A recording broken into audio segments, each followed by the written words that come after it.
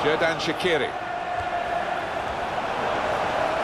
Here comes the cross. A decent fist away by the keeper. Van Ginkel!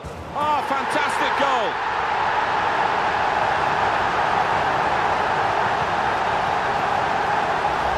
It was a move to make your mouth water. Great goal. Well, the defenders just stood rooted to the spot on the edge of the box, and what a poor one to concede.